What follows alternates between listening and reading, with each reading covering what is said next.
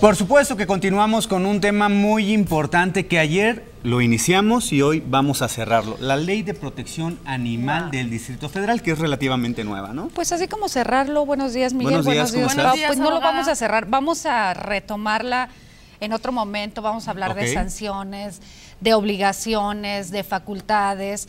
Eh, quiero aclarar unas cosas porque sí surgieron varias dudas el competente, los competentes para ver estas, eh, estas cuestiones en muchos aspectos, obviamente es el jefe de gobierno, la Secretaría de Salud, algunas secretarías, la Secretaría de Seguridad Pública, la Procuraduría General de Justicia del Distrito Federal y las delegaciones. Si tienen algún problema con, con la mascota del vecino, pues eh, diríjanse al juzgado cívico, incluso a la delegación, depende de la naturaleza, es muy amplia la ley.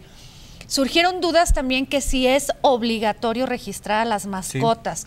No es obligatorio, ahorita es voluntario y es ante Locatel por medio de una llamada, te asignan un número, te lo mandan vía correo electrónico, a mí no me han mandado el mío, pero bueno. Este, y que si van a pagar impuestos, no, esto son runrunes, es radio pasillo, ahorita apenas está echando a andar la ley. Eh, no hay ahí malas interpretaciones y con gusto se las seguiremos este, la otra vez dije, ¿tienen dudas? Aquí se las ampliamos. No, se las aclaramos.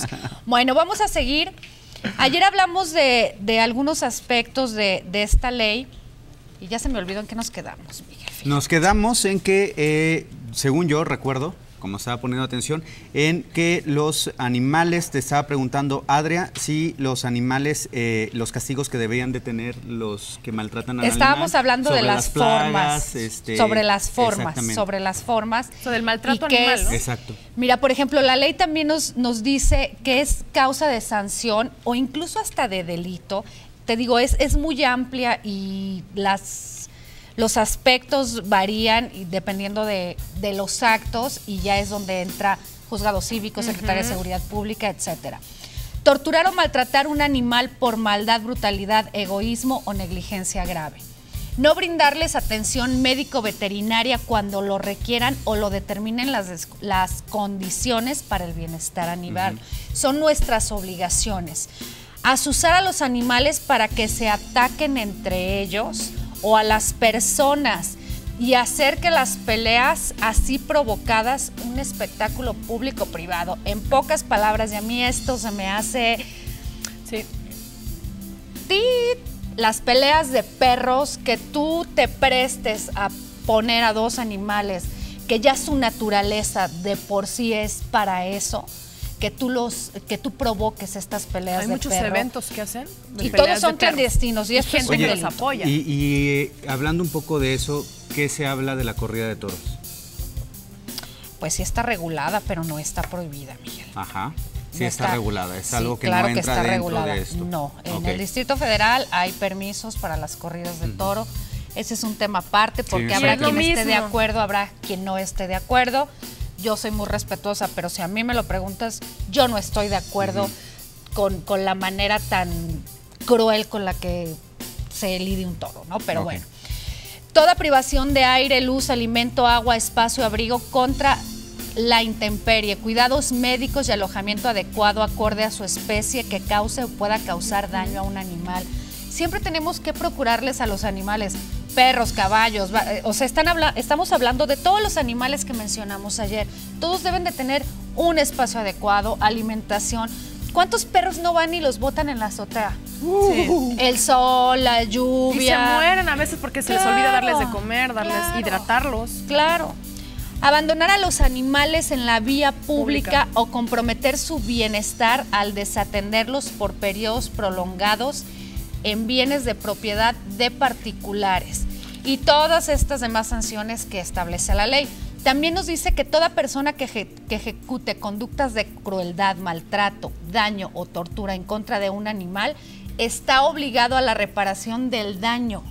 Ahí entra, perdóname que te interrumpa, ahí entran los, este, las tiendas que venden animales que tienen a los cachorros en pésimas condiciones. Mm, bueno, tú ahí eres un vendedor, también está regulado en esta ley, ya está regulado cuáles, en qué condiciones tú tienes que vender un animal y tú como consumidor tienes que estar pendiente.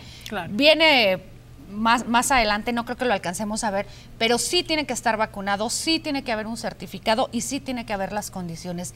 Esto ya está regulado. Ya no es el típico, la típica venta de banqueta donde te dan animales enfermos, sin vacunar, parasitados. Todo esto está perfectamente regulado. Y si lo, lo encuentran en su colonia, ahí está la delegación, ahí está la Secretaría de Seguridad Pública, incluso el juzgado cívico. O incluso la Procuraduría General de Justicia.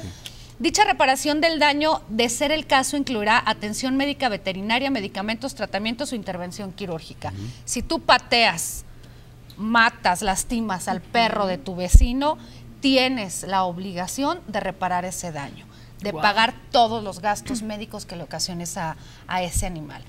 Hay prohibiciones en esta ley eh, por ejemplo, alguna de ellas es la utilización de animales en protestas, marchas, plantones, concursos de televisión o cualquier otro acto análogo parecido, con excepción de aquellos utilizados por la Secretaría de Seguridad Pública del Distrito Federal.